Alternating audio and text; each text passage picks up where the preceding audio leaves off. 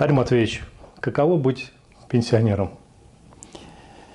Э, ну, я бы сказал, что пенсионером э, очень интересно быть, очень э, увлекательно, очень работы прибавилось, ну, потому что это объяснимо, что всем кажется, что пенсионер, он более свободен, и поэтому можно просить его читать лекции, там, проводить какие-то мероприятия.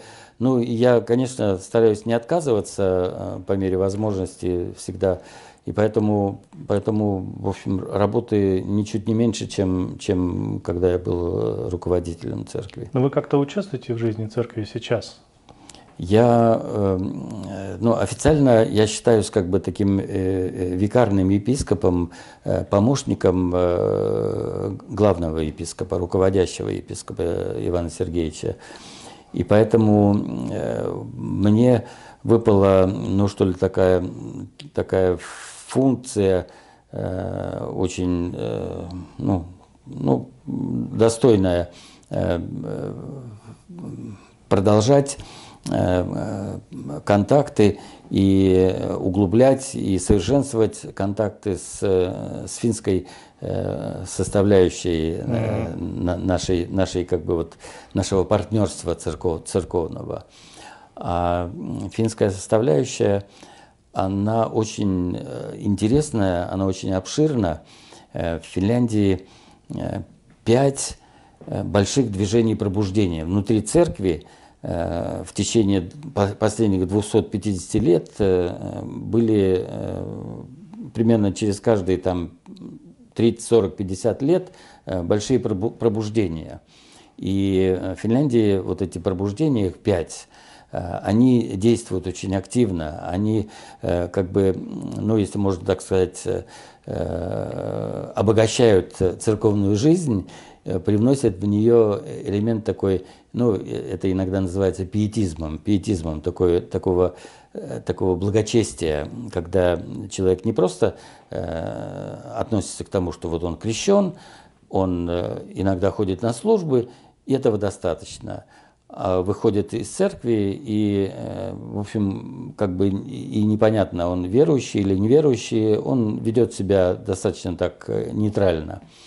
А пиетисты, то есть вот эти движения пробуждения, они как бы подчеркнуто э, и в быту стараются жить э, по заповедям Божьим, если так можно выразиться. Вот, поэтому э, мы поддерживаем отношения вот со всеми пятью этими движениями пробуждения. У них свои даже молитвенные дома, там свои, ну, образно говоря, свои церкви даже. И э, эти движения, они очень, очень активны. Э, это, собственно, ну, если можно так сказать, изюминка церкви. церкви. Вот. И учитывая, что почти все эти движения пробуждения, они в том числе и такие по, свои, по, по своим взглядам э, библейским или теологическим, они библейско-консервативные, то это, это еще сближает нас еще больше с этими движениями. Вот. И поэтому э, вот э, я как э, владелец языка финского имею возможность вот это общение как бы поддерживать и развивать и дальше. Потому что для нас, для нас очень важно. Мы, не скрою, что у нас даже часть наших священников, они живут в Финляндии, они граждане, граждане Финляндии, вот как раз из этих движений пробуждения, нами рукополож, рукоположены, их, их даже не один и два, а их там ну, 20-30 э, священников, которые нами рукоположены, и они э, живут в Финляндии и э, осуществляют такую миссионерскую помощь нашей церкви, пока мы еще не имеем достаточно э, священства. Вот. Ну и, естественно, у нас есть э, больше ста э, э, сестринских приходов, то есть такие ну, дружественные приходы, с которыми, вот, допустим, в Колтушах, где я настоятельствую, у нас пять дружественных приходов в Финляндии, ну, это сестринские приходы, с которыми мы тоже регулярно встречаемся, совершаем какие-то общие мероприятия. Вот, бываем пару раз в году в Финляндии, с хором ездим и проводим там богослужение по чину церкви uh-huh. Ингрии. И, и в том числе наших прихожан уже ну, тысяч, 30, 30 тысяч наших бывших прихожан живет э, сегодня в Финляндии. И вы их не бросаете? Получается. Мы их не бросаем, мы стараемся с ними поддерживать э, отношения.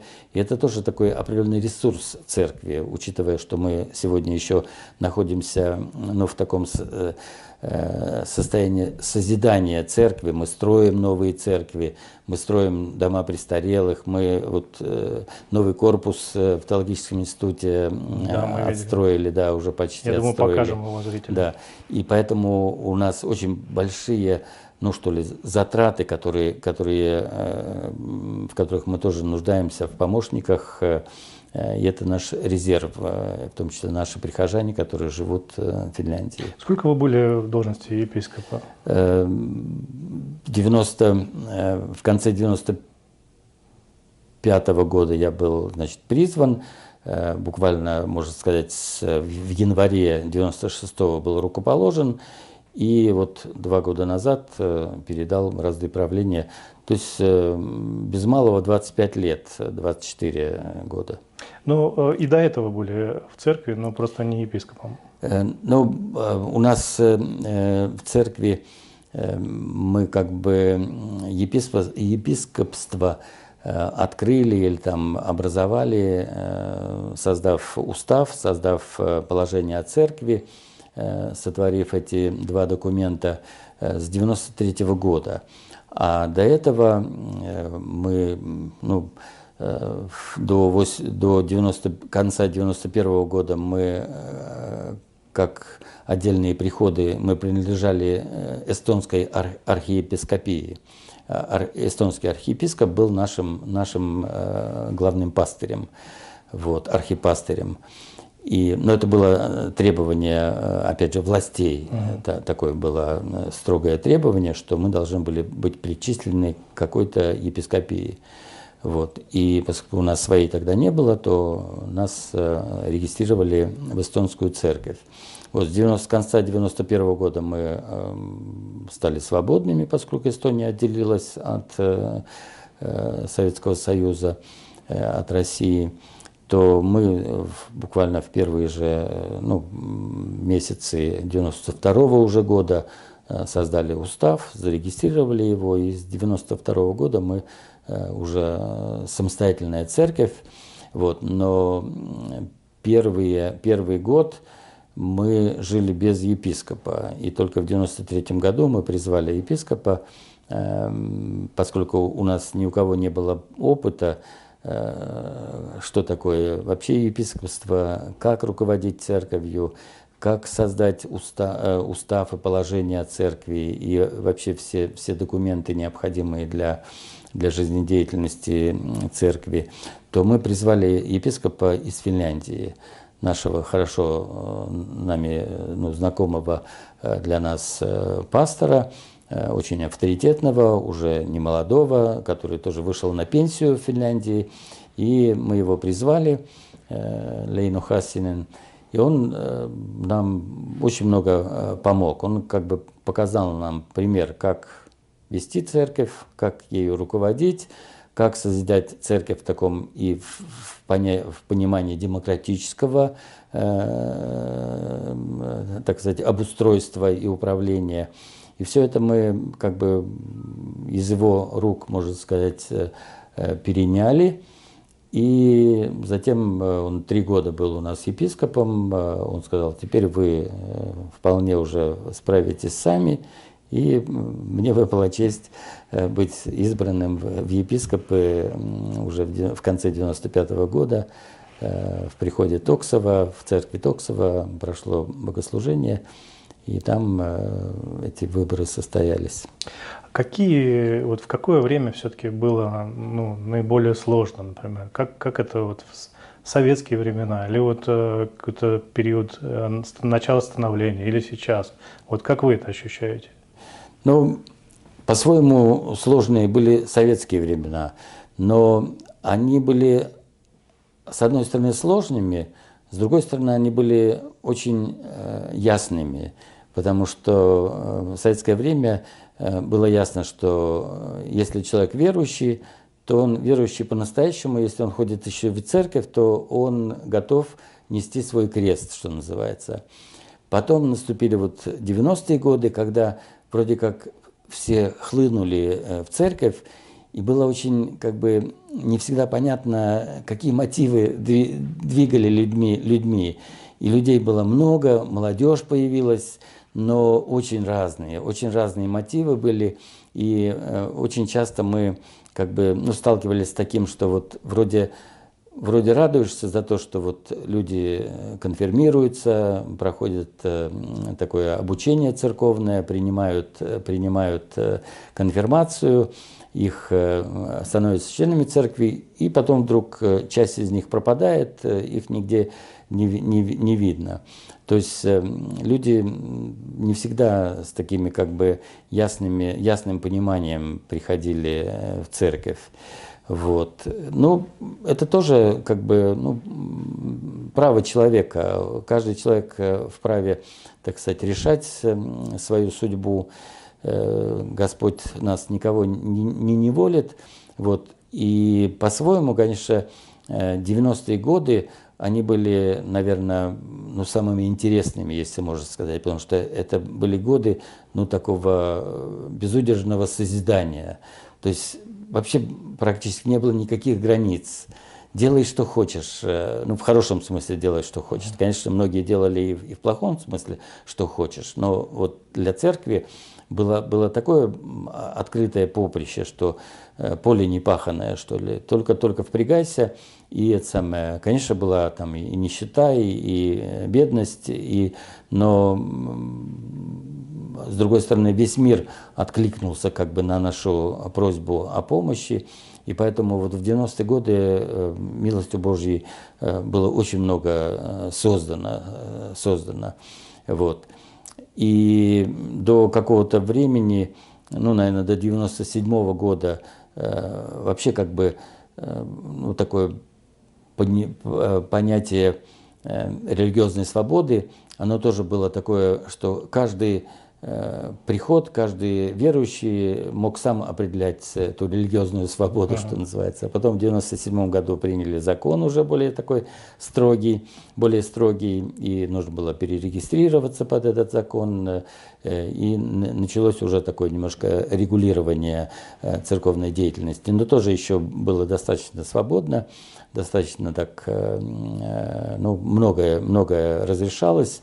Вот. И но уже настало время, когда каждый год какие-то новшества законодательные вводились, и становилось все, все более и более, э, я бы не сказал, э, труднее становилось, но требовалась уже такая юридическая подкованность, потому что уже нужно было все делать правильно, все делать э, по закону, Э, мы даже вынуждены были э, нанять юриста. Юриста э, ну, для церкви, у которой ресурсов не очень хватало, это тоже было достаточно накладно, потому что юрист у нас получал зарплату больше, чем епископ, потому что ну, иначе просто не, найти было юриста. Вот. И, и настало время, когда стали все более и более ссылаться к законам. И поэтому любое даже строительство или что-то так, такое более-менее серьезное, обязательно нужно было сначала все законодательно закрепить, все, все э, законы учитывать, э, всякие там соглашения подписывать. Э, и предпроектные э, всякие исследования проводить, и эскизные проекты утверждать, и только потом уже э, приступать, приступать к, к таким ну, конкретным работам по строительству. А что повлияло на становление лютеранства, вот российского лютеранства, на ваш взгляд, более всего? Ну, в том виде, в котором оно стало существовать и, может быть, существует по сей день? Какие факторы? Ну, я думаю, что э, действовали э, несколько факторов. Это то, что еще э, в начале 90-х годов жило поколение, очень немалое поколение, это буквально о сотнях тысяч верующих идет речь, жило поколение, которое, которое, э, которые прошли Э, еще в молодости были воспитаны в лютеранской церкви, э, несли в себе лютеранскую идентичность.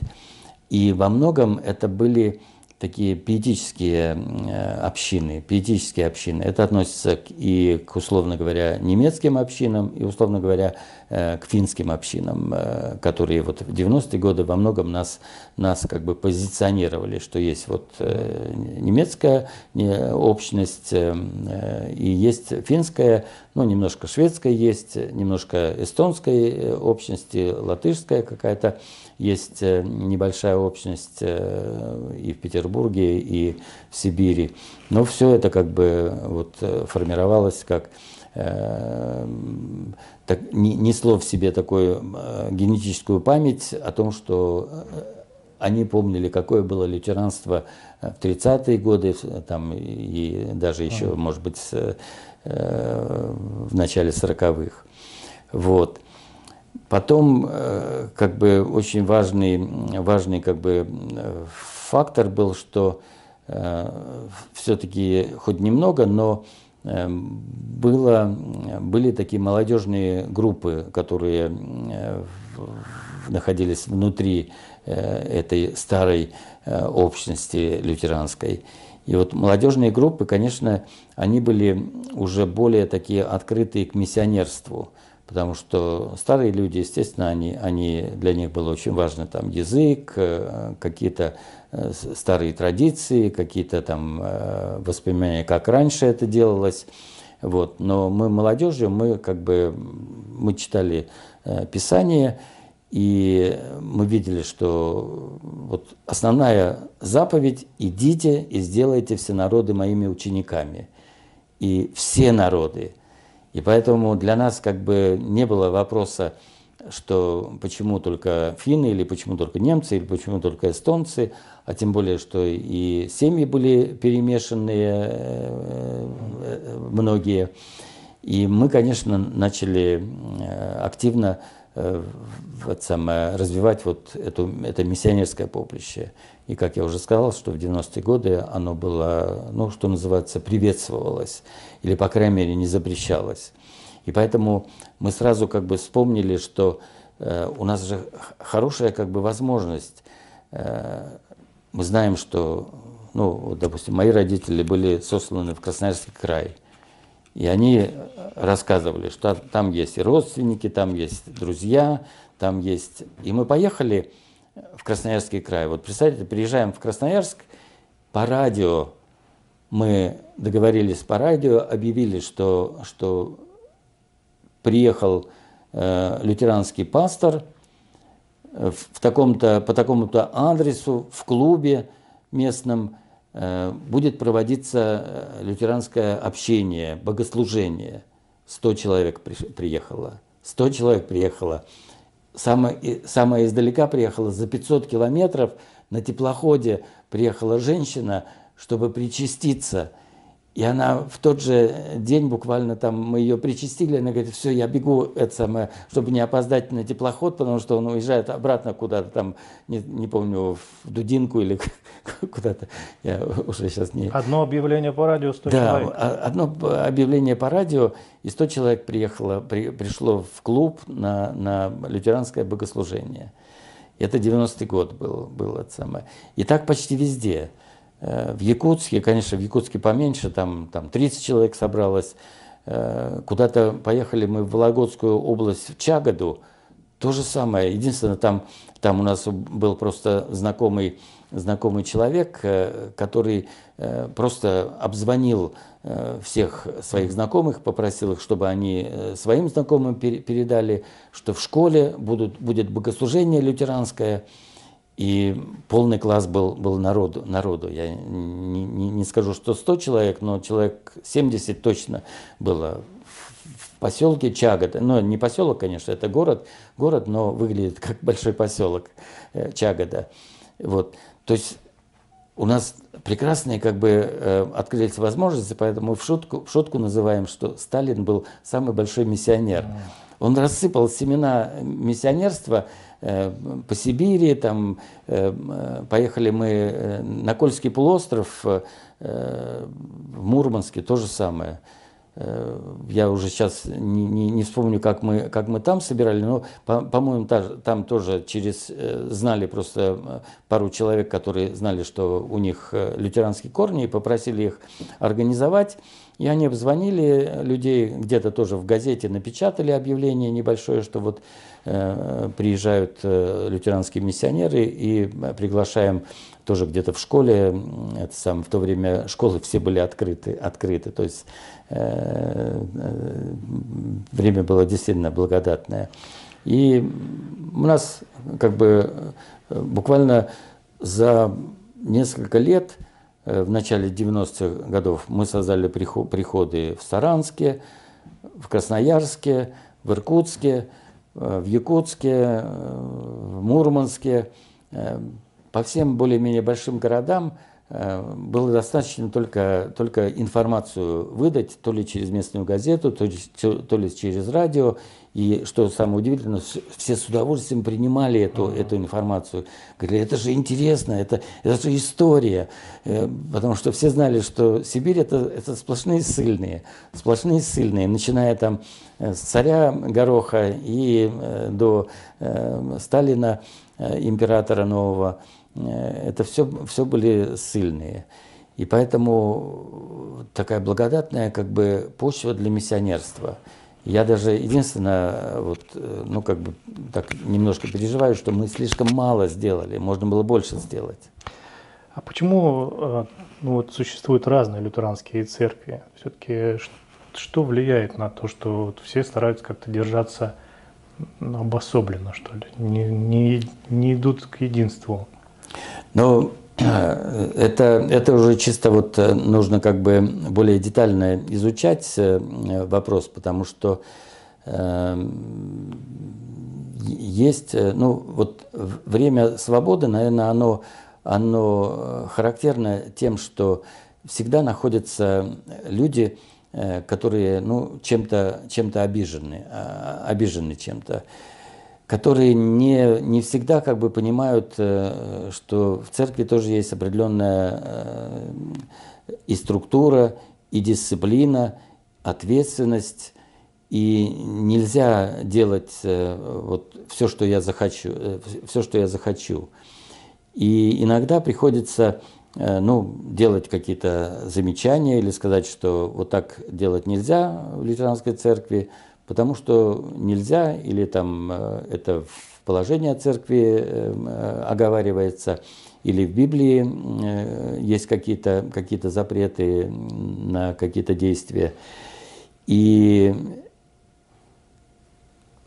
находясь в положении, когда, когда вот внешние факторы не ограничивают – то люди очень легко э, делают как бы вывод, а вы мне как бы запрещаете, да вы вообще ни, ничего не понимаете там в, в жизнедеятельности церкви или там в миссионерском служении, и хлопают дверью и созывают, созывают вокруг себя э, там сначала двоих или троих, ну и у всех такая ссылка, что вот в Писании написано, где двое или трое собрались во имя мое, там, там и я.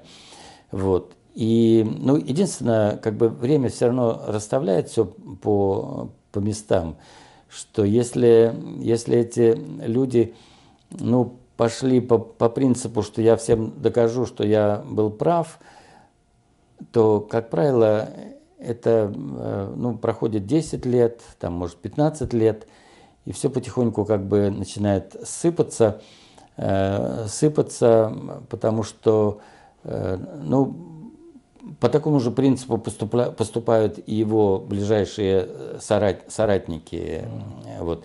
А церковь, она, она все-таки как бы, ну, э, Бог, Он есть Бог порядка.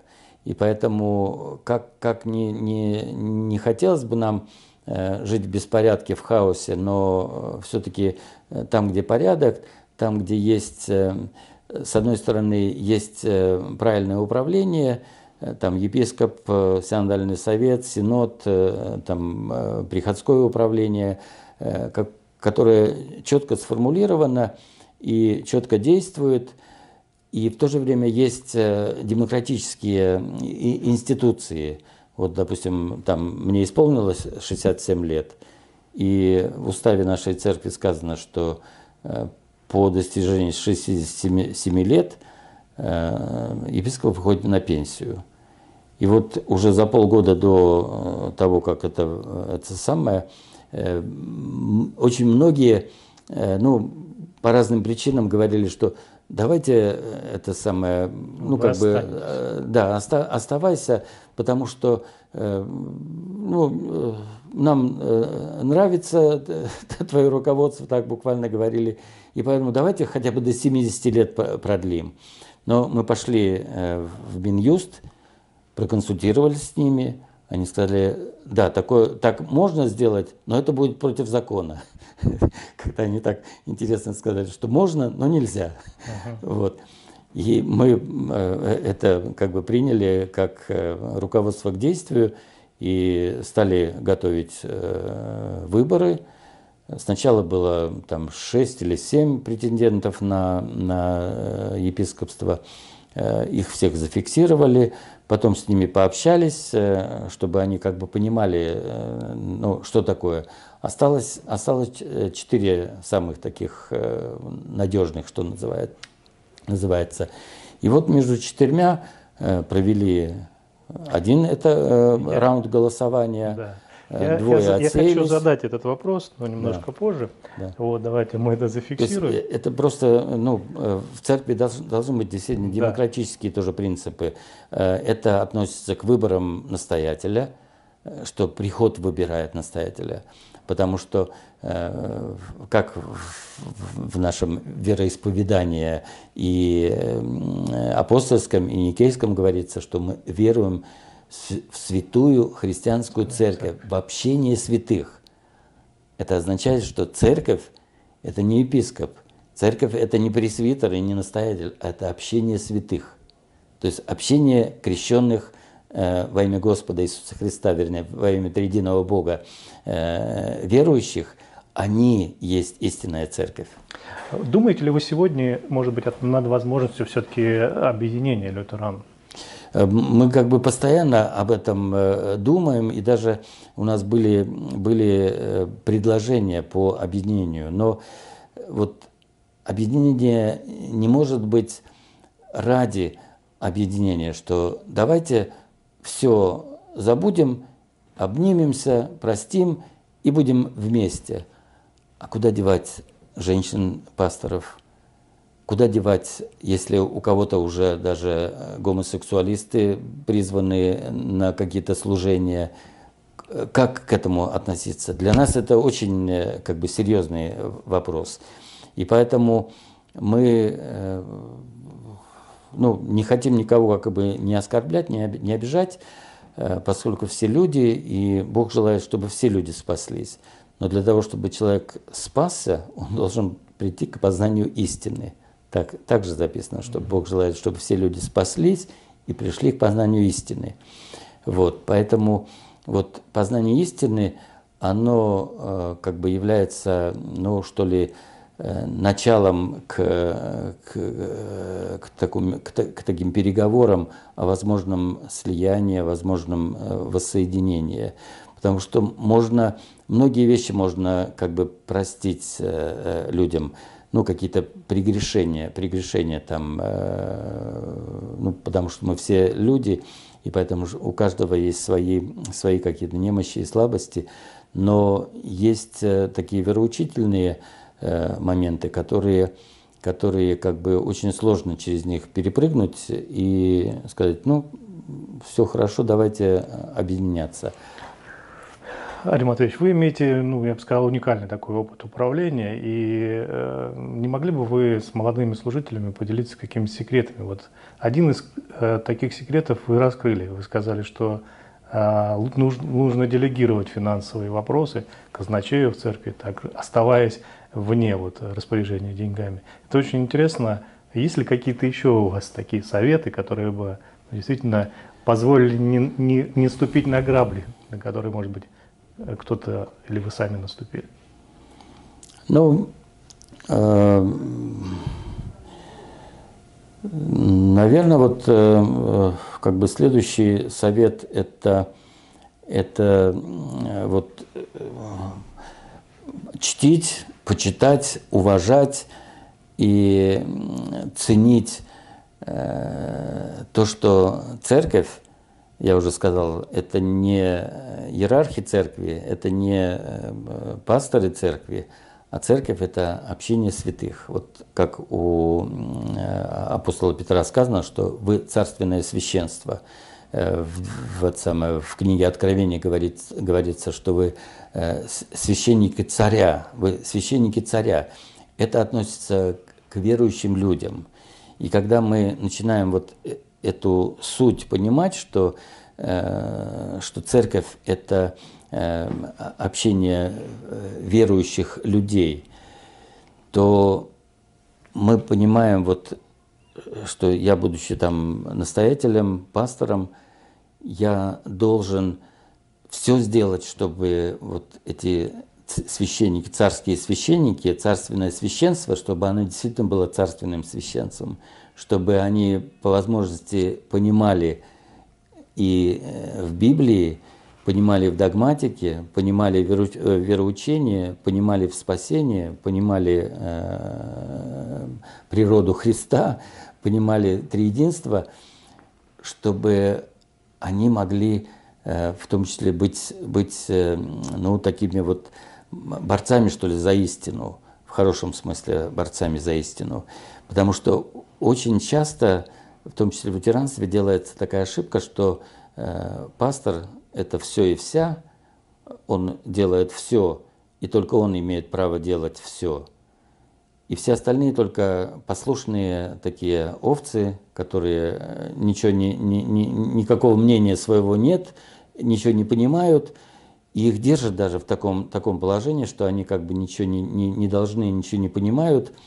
И поэтому такая церковь, конечно, она, она может э, там существовать, даже может э, быть, э, ну, внешне выглядеть не, не, неплохо, но, как правило, такие церкви не, не растут. Если э, пастор возглавляет такую команду, миссионерскую команду, э, и приход становится миссионерским, то этот приход обречен на сначала на небольшой рост, потом все больше и больше рост э, и укрепление, по крайней мере. То есть не закрепощать людей? Нет, не, нельзя. Это самое. И вот это очень, очень важно как бы понимать, что э, это, собственно, и есть э, вот такая святая демократия, э, освященная демократия, которая, э, которая э, как бы вот голос народа, святого народа, который царственным священством назван, это, это, и чем больше таких людей воспитывается в приходе, тем больше радость э, вот, служения, служения. И это тоже секрет. И тогда, тогда вот там объявляем, объявляем мы, что у нас орган сломался. И вдруг в течение месяца мы собрали 500 тысяч рублей на, на орган. Казалось бы, мы, я знаю, что мы все нищие, нищие это самое, но Господь э, творит чудеса. И самое большое чудо было, было что мы в течение там, нескольких недель объявляли, что на орган собрали 100 тысяч, на орган собрали 150 тысяч, на орган собрали 250 тысяч. И э, одна, э, одна сестра, довольно-таки молодая прихожанка, она все время своему папе рассказывала, что мы собрали уже 252 тысячи, мы собрали уже 258 тысяч, Папа устал и говорит, вот вам еще 200 тысяч, это самое, покупайте уже органец. Ну, я слышал э, термин суверенная демократия, теперь буду знать, что есть еще святая. А, скажите, вот сейчас как а, процессы, протекающие в финской церкви, я имею в виду процессы такие либерализации, вот, влияют на взаимоотношения. Вы же занимаетесь взаимоотношениями внешними. Вот mm-hmm. какие-то проблемы для церкви Ингрии в России это несет? Но, сложности возникают? Э, если, если так сказать, э, как бы честно и открыто, то многие верующие, многие это, это даже не сотни, а тысячи верующих в Финляндии – спрашивают, э, вот когда я еще был епископом, у меня спрашивали, когда вы сделаете церковь в Финляндии? Люди как бы устали от этой либеральности, ну, я имею в виду верующие люди. Конечно, есть люди, которым все э, как бы э, вот либералы, они всегда придумывают такие очень очень как бы такие красивые ходы. ходы. Угу. Вот они... Э, э, гуманизация. Да, да, гуманизация многих э, таких этических, моральных, э, так сказать, э, проблем. Они придумали такую, такую теорию, что есть э, две корзины. В одной корзине э, как бы Бог дает нам Э, познавать ну, такие незыблемые истины. Это догматика, это учение церкви. И вторая корзина – это этические все, так сказать, реалии, реалии жизни. И вот эти этические реалии, к ним относятся, к ним относятся Э, гомосексуализм, к ним относятся многие другие, другие либеральные вещи, там эвтаназия и прочее, прочее, что аборты, это, аборты что это э, все связано с, с культурой, с культурой. Культура развивается, э, э, знания человеческие э, увеличиваются, и то, что вчера казалось э, невозможным, и вообще, как бы они поворачивают таким образом, что э, то, что было э, там в Древней Греции или там в Древнем Риме, когда там христианство начинало только развиваться, то это совершалось в виде насилия э, там мужчины над мужчиной. А теперь это равноправный союз мужчины и мужчины.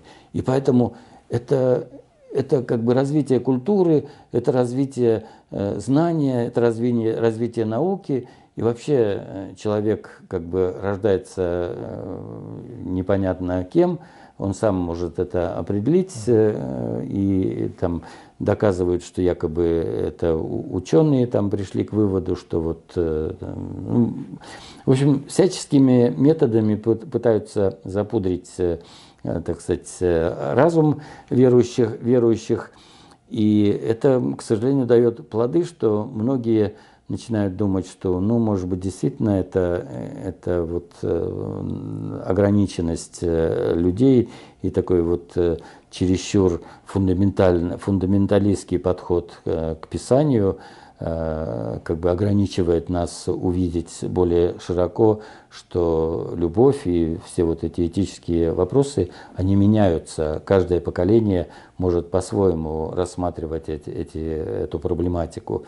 Вот. И, э, а мы все-таки видим, видим здесь э, цель, цельность. Если нам говорится уже, начиная с Ветхого Завета, что Э, Бог создал мужчину и женщину, э, назначил им быть вместе, э, мужем и женой.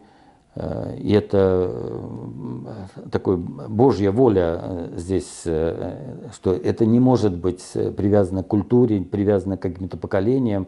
Это воля Божья, и более того, там уже Э, в книгах э, э, Моисея даже очень строгие наказания за такое превратное отношение к воле Божьей, к заповедям Божьим. Ну и не говоря уже и о том, что и сам Христос нам подчеркивает, что в Евангелии от Матфея, что да, мужчину и женщину создал. Разве вы не знаете, Э, что мужчину и женщину создал Бог. Э, и, и, и, и, и поэтому тут никак не отвертеться. А уже если мы там читаем послание, то там просто это, ну, опять чуть ли не в таком же духе, как, как в книгах Моисея говорится о том, что только так. Но вот эта вот ваша позиция, а, а, ну, я имею в виду библейская позиция, она затруднила все-таки взаимоотношения сегодня, как вы оцениваете? Ну, она, она сам, э, не то чтобы затруднила, э, я вот как бы вижу и чувствую, что очень многие люди, даже из либерального крыла, они как бы согlaша, соглашаются с нами, но э, вот у нас даже здесь преподавал епископ э Пихкала, э, преподавал, он как раз, э, ну, такой хороший преподаватель, и с большим опытом, и доктор там э, теологических наук, так сказать. Но вот он, он соглашался с тем, что да, э, в Библии ну, есть такие положения, которых вот мы как бы чтим их, придерживаемся. И он соглашался, что мы действительно правы в этом плане. Но он как бы в то же время говорил, ну раз Синод церкви принял решение, что женщин э, можно рукополагать, то мы же не можем ломать э, церковь вопреки решению. Это решение э, церкви. И поэтому вот, вот этот момент учитывая, мы на своем синоде приняли, знаешь, какое решение? Нет. Что э, только мужчина может быть пастором, и это решение не может, это решение не может оспариваться и не может голосоваться на синоде больше. То есть после вас, да. кто бы не пришел, он не может коснуться? Эм, э, не, не могут даже этот вопрос выносить на, на обсуждение. То есть мы э, в своем положении о церкви э, занесли такое, такое, вот, такое положение, что это непререкаемо. А почему вы уже говорили о том, что выборы были, и мы это знаем, что это, наверное, были одни из самых демократичных выборов, которые вот можно себе представить на территории Российской Федерации, ну, я имею в виду выборы нового епископа, и вы сказали, что вы ну, приняли решение, даже несмотря на уговоры, как бы все-таки провести выборы и уйти из должности епископа. Но вот вопрос возникает а, сейчас, почему вы не стали вмешиваться и предлагать какого-то преемника, да, вот как это сейчас а, в обиходе принято, что вот я считаю, вот этот человек. Mm-hmm. Не стали никого рекомендовать. В общем, это было неожиданностью, насколько мне известно. И э, никто не знал, какой будет результат этих выборов. Ну, для меня скорее было неожиданным э, другой момент, что э, одному другому э, кандидату э, на должность епископа э, как бы ну, так в кулуарах потом я узнал, что ему э, гарантировали, что его выберут в, в епископы, но его не, выбрали, не выбрали. И я э, со своей стороны как бы, как бы понимаю, что в любом случае ну, выбрали э, епископом того, кто как бы своей уже, может быть, не очень длинной, но несколькими годами служения в церкви он как бы доказал э, свою ну, способность, что ли, к, к руководству. Вопрос даже не в, не, не в епископстве, а в, к руководству, э, что у него было видение, у него уже практические навыки были, были к этому. И поэтому э, для меня как- как-то было естественно, что Э, именно правильный выбор сделали. Э, я не, не, не могу, конечно, и скрывать, что это как бы наш воспитанник э, нашего прихода, колтушского прихода, вот. Но это только как бы подтверждает, что я, я знал его способности, и поэтому я был спокоен, что ну, примерно как бы предвидел какой будет результат. Единственное, эм, ну, я боялся, что некоторые ну, такие достойные кандидаты, они отказывались э, в какой-то уже момент, когда приближалось э, время выборов, они говорили, нет, э, я, я не, не, не участвую. Снимали кандидатуру? Снимали кандидатуру. Но это тоже право, право человека. Вот, но вот Иван Сергеевич, ну, как мне показалось, к этому серьезно отнесся и ну, взял этот крест э, на, на себя. А выборы сделали, сделали ну, у нас это и э, пасторы, и члены Синода, э, так сказать, решают этот вопрос, поэтому, поэтому очень демократично. Ну и, может быть, в конце такой, может быть, такой личный вопрос. Ну, хотя вот мы сейчас находимся в Колдушах, здесь проходят семена для э, пастырей и их супруг. Вот какую роль э, ваша супруга играет в вашем служении? Ну, я э, должен сказать, что э, ну, Бог э, подарил мне э, супругу очень надежную, вот. С другой стороны, она из тех, наверное, людей, которые осмеливаются мне э, сказать э, правду, потому что, ну, не секрет, наверное, что авторитет, авторитет епископа, он имеет и такую немножко, э, такую, ну, как бы теневую сторону, что авторитет может, может уже в какой-то момент начинает давить на, на людей, что люди уже не осмеливаются как-то открыто сказать что-то, mm. там, что называется, в лицо. В лицо.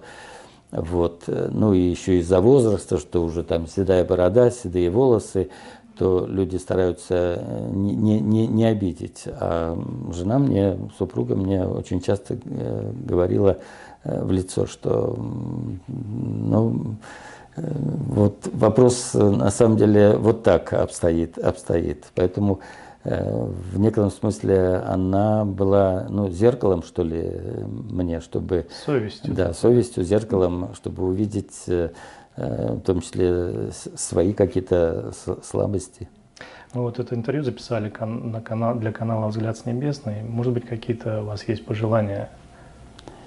Э, то есть это будет э, ну, для широкого круга широкого, да, людей, верующих. Ну, я вот пожелал бы всем слушателям, даже если вам кажется, что, что в церкви но все не так, как, как пел Высоцкий. В церкви тоже все не так, все не так, ребята. Но все равно найти обязательно э, себе по душе э, церковь, потому что церковь это такая духовная семья, как, как у нас есть семья по жизни, э, у нас может быть семья там состоящая из, из более широком понимании там из друзей, но обязательно нужна церковь, потому что рано или поздно вы столкнетесь э, с тем, что вы начинаете думать о, о вечности, э, и э, без Бога жить легко, но умирать без Бога очень трудно бывает, тяжело. Вот. Но это не, не только, что я хочу там сказать, что вот там о смерти, напугать людей смертью.